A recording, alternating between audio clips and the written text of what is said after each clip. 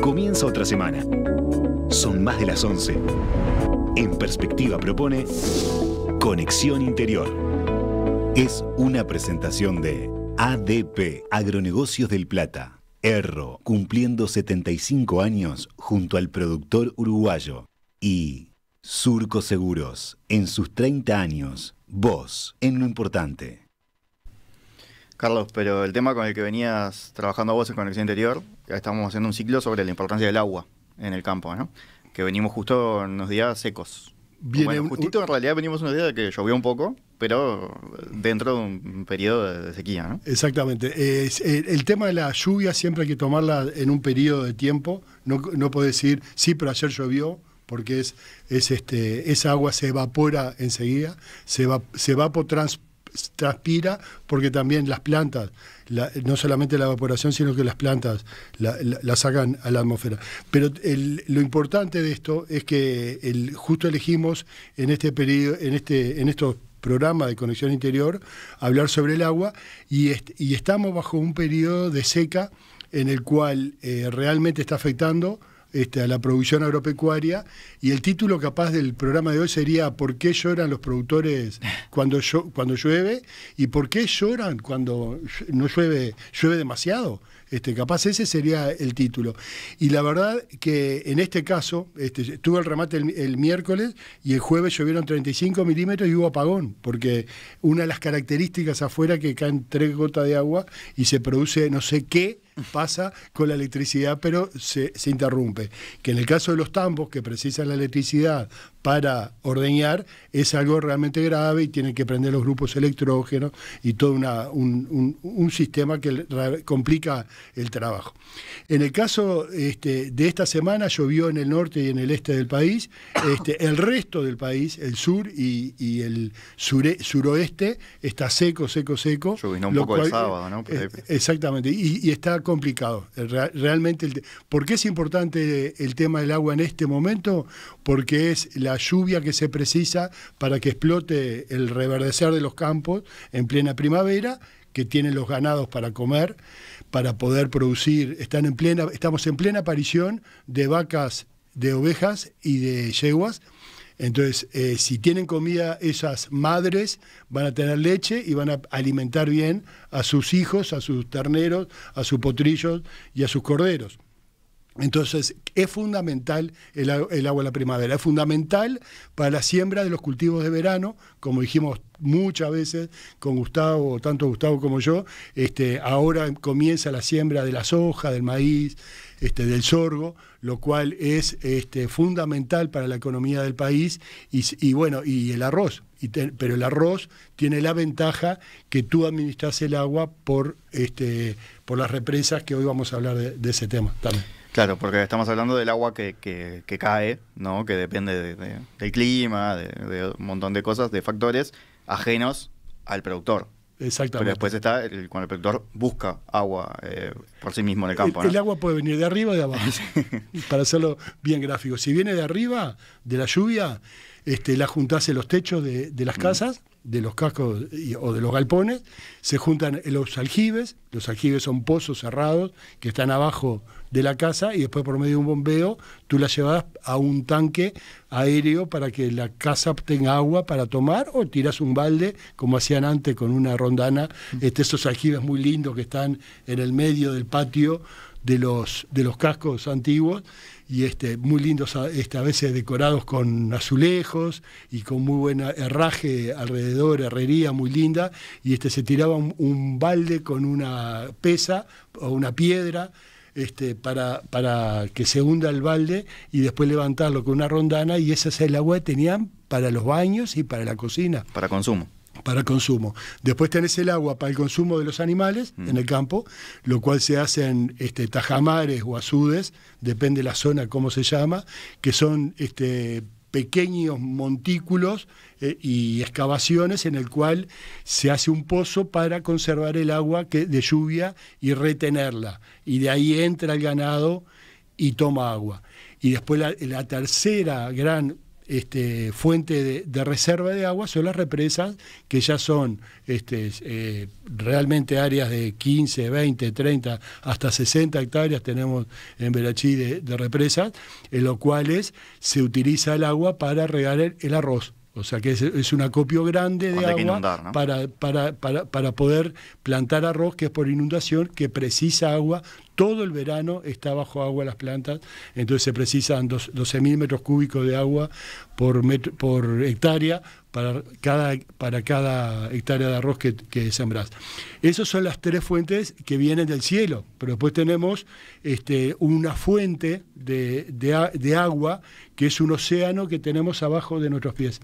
Este, tenemos la, este, en Brasil, Argentina, Uruguay y, Paraguay, tenemos el acuífero guaraní, que es la tercera reserva de agua dulce más grande del mundo.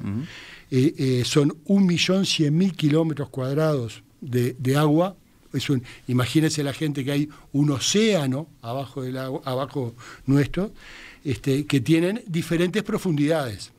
Entonces, nosotros para llegar a esa agua, hay aguas superficiales también, que es la, clásica discusión de que los árboles eucaliptos que sacan el agua, que eran los viejos pozos artesanales que se hacían a pico y pala y encontraban agua muy superficial y se sacaba muy superficial con un molino. Esa es, es un agua que si llegan las raíces de los árboles, por ejemplo, pueden secarlos. Y es verdad, eso es uno de los, de los daños de la forestación. Pero al acuífero guaraní no hay monte, ni eucalipto, ni raíces que lleguen, pues estamos hablando de cientos de metros de profundidad y océanos de agua. Entonces, ¿cómo llegamos a esa, a esa, a detectar dónde está esa agua? claro, porque esté abajo nuestro no significa que hagas un pozo en cualquier lado y encuentres. Claro, podés encontrar agua superficial, o mm. sea, de la lluvia que se acumuló, acumuló en una, en una piscina. por ejemplo, y se termina. Y eso donde haya una seca grande, no, no hay reposición de agua, se puede, terminar, se puede agotar. En cambio, el acuífero es interminable. Hay, hay ciudades en Brasil que, tocan el, que toman el agua del acuífero para darle agua a la ciudad entera. Mm. O sea, entonces hay, este, y no tiene fronteras. El agua del acuífero guaraní este, no, no le pertenece a ningún país, es de todos. Que hay que cuidarlo, sí. Que no hay que contaminarlo, sí. Que no hay que este, perjudicarlo, sí. Que no se puede agotar, sí. Todo eso estamos todos de acuerdo. Pero también precisamos utilizarlo para darle, darle agua al ganado, porque dentro del bienestar que hablamos en varios programas de la ganadería, está el, bienestar animal, que es una de las libertades que debe tener el animal, es estar libre de sed. Nosotros no podemos someter a un animal a pasar sed en una sequía, por ejemplo. Entonces, ¿cómo llegamos a detectar dónde está ese acuífero? Bueno, entonces entramos en, el, en, lo que hoy íbamos a hablar, que es la presencia de un personaje, una, no sé si llamarlo personaje, persona, este, una profesión, una actividad, que es el radomante.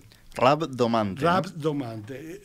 Eh, afuera le dicen redomante, radomante, se distorsionó, pero es la, la, la actividad, la radiestesia, radomancia. La radiestesia viene de radium, de radio, y estesia de percibir. Y radomancia viene de vara y de actividad.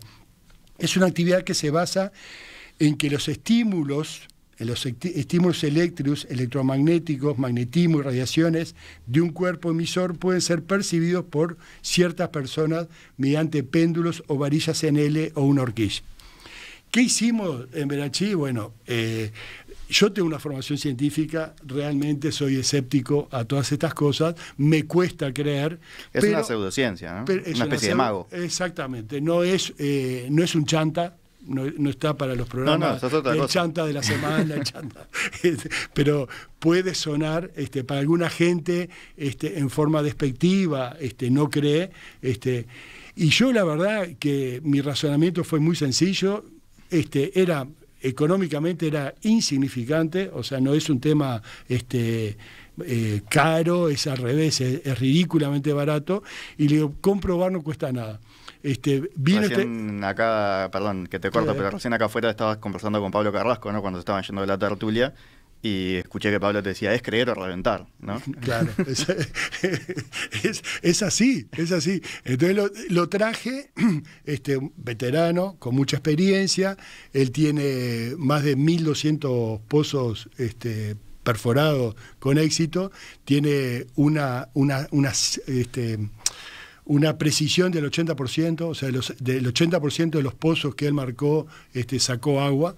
Este, Primero recorrimos el campo, entonces, ¿cómo es el proceso?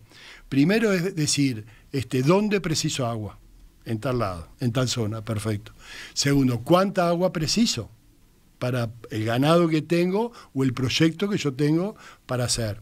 Tercero, ¿está cerca de una fuente de electricidad esa, esa, esa fuente de agua? porque eh, después hay que sacarla y sacarla por medio de nafta es caro y sacarla por medio de electricidad es mucho más barato. Y entonces, y, ahí empezamos, ¿y cuántos litros por hora va a dar ese pozo? y es lo que yo quiero. Entonces, él eh, recorrió mucha área de Verachí, mucha, recorrimos, y este, con una varilla en Y, en forma de Y, y en, algún momento este, él agarra las dos patas de la Y y, el, y la pata recta queda hacia, adelante. Hacia adelante. Este, en algunos lugares no se movía, en un lugar se movió poquito y en el lugar donde hicimos el pozo realmente pega un chijetazo la varilla este, muy fuerte. Varios de los compañeros de, trabajo de Verachí probaron y no tuvo resultado. Este, yo probé y me pegó un chijetazo fuertísimo entre las piernas muy fuerte, o sea que había, este, y él, y él llegó a una, a una conclusión en el cual él determinó de que había este, una, una, una línea de agua hasta 25 metros, había otras 50 y otras 75, que una daba 700 este, litros hora todo eso solo con, caminar por arriba y, sentir la, varilla, Y después se paraba y con unas, eh, unos fierritos, una L, él iba marcando el caudal de agua. Este, vio las corrientes, este, eh, marcó las corrientes, no las vio, perdón, eh, marcó las corrientes por donde venían, marcó el punto donde había que perforar y marcó y estimó que a, 25 metros habían 700, 1500 y a, 50 metros y a 75 metros habían 3000 este, litros hora. Estamos hablando para, para abajo, ¿no? Para abajo. 75 metros para abajo. Después llama el posero, que viene con un sistema, está la foto este, en la página web que las pueden, las pueden mirar, y este, y el posero en el, en el lugar exacto que él, que él marcó, ni más ni menos, este, a los 25 metros encontró 400 litros, no 700. A los 50 metros encontró 1.380 litros, muy cerca de los 1.500. Y era el agua que precisamos, no tuvimos necesidad de llegar a los 70 metros. Como decía Pablo Carrasco, creo reventar. Pero vos decís que vos agarraste la varilla también, decías, caminaste por ahí y sentiste como el, movimiento de la varilla. Yo, yo no hice nada y la varilla me pegó un chiquetazo que bajó. Entonces, este, y, varias otras personas, compañeros, no lo, no lo, no lo hicieron. Hay, este, hay diferentes interpretaciones. Este, hay, hay autores que justifican como que las varillas son amplificadores de los brazos y es un, efecto idomotor, o sea, la varilla sería un instrumento de expresión del conocimiento o percepción subconsciente del radomante. O sea, hay una parte, hay una explicación. otros autores afirman que existen personas más sensibles a pequeños gradientes de campo magnético. Este, hay, este, esto data desde, desde más de 4.500 años. Este, antes se llamaban sauríes. En 1518 Martín Lutero lo, considera, lo consideraba como parte, Martín Lutero, fundador del protestantismo, Este, lo consideraba como un acto de brujería. Este, con, la apertura mental que el luterismo tenía, ¿no? que no era que llamaba al diablo a todo, a todo lo que se le cruzara. En 1778 William Pace Price, en un tratado de mineralogía, explica que la varilla del Saurí era afectada por ciertas emanaciones. Y en 1986, la revista Nature incluye la radiomancia en una lista de efectos que se presuponían paranormales, pero que pueden ser explicados por la ciencia. ¿Cómo se puede explicar? pistas este, sensoriales, conocimientos ancestrales, efectos de expectatividad y cálculo de probabilidad, la verdad que querer o reventar, como decía Pablo. Al final de cuentas es eso, ¿no? En Erro, brindamos soluciones, tecnología e innovación para toda la cadena productiva somos una empresa pujante que trabajamos arduamente en la alianza con las marcas líderes en el mundo para satisfacer las demandas del mercado actual. Erro, una empresa 100% familiar cumpliendo 75 años junto al productor uruguayo. Ma, ¿qué es un seguro? Es para tus cosas. Si les pasa algo, te pagan. ¿Quién te paga? Surco Seguros. ¿Y qué cosas? la casa, el auto. ¿Quién más asegura el surco? Los vecinos, sus cultivos del campo. ¿Y vos, Agüe? Seguro de vida desde mucho antes que vos nacieras. Se siguen sumando generaciones que confían. Cumplimos 30 años cumpliendo. Surco Seguros. Vos en lo importante. ADP. Agronegocios del Plata. Trabajando día a día en una producción responsable de alimentos para el mundo. Carlos, llega algún mensaje de la audiencia. Mira, en este caso, Marcelo un poco me rezonga por haber dicho que la raudomancia era una pseudociencia. Dice, es más, hay empresas buscadoras de agua profesionales, complementan raudomancia con mapas de suelos y generalmente no erran, dice. Es un talento que se complementa con tecnología. Que claro, debe haber eh, formas de buscar tipo radar, ¿no? Una, como se busca el petróleo bajo el océano. Obviamente. Pero eso va a ser muchísimo este, más caro. Este radomante que yo llevé es un técnico de la escuela Jackson, este, un tipo que trabajó en el campo durante muchos años, ya es muy, muy veterano, y, este, y lo que aplica es este, conocimientos científicos que él tenía, obviamente, pero hay geólogos que se dedican a eso y los respeto totalmente. Eh, yo presencié en San José una, un sistema de búsqueda de agua, era con pequeños petardos, ponele, bombitas, entonces lo que hacían era medían la, velocidad que, que el sonido bajaba y volvía a la superficie, era por un sistema de computación, entonces este, cuanto más rápido era, estaba más cerca del agua. Este, pero hay, hay varios sistemas y hay geólogos que estudian eso y totalmente respetable, ¿cómo no? Esto es más eh, una cosa innata, ¿no? Esto hay gente que tiene ese, eh, como te dije, si había gente en Verachí que no, que no, la varilla no le hacía nada. hay gente que tiene ese don. Vos algo tenés entonces, porque lo sentiste. hay que explorarlo.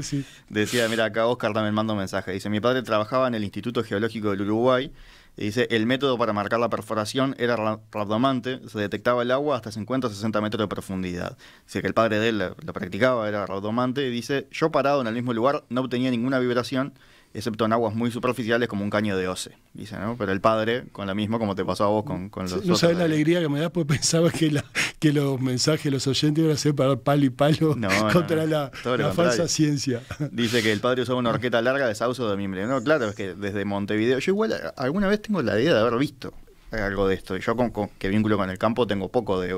He aprendido mucho con conexión interior, pero de no no gracias, tengo, pero tengo poco campo trillado digamos no no, creo no creo haberlo visto en persona sin embargo estoy casi seguro de haberlo visto en alguna película o en la tele alguna vez alguien buscando como con con un palito es, una, algo es una griega es una lejano oeste viste buscando en el exactamente se usaba mucho se usaba mucho eh, capaz de las películas de cowboy claro, se, eso, se veían este es, es una Y entonces tú agarras de las dos patas de la Y y la punta derecha va para adelante, es la que se mueve mm. y, es la que busca el agua, entre comillas.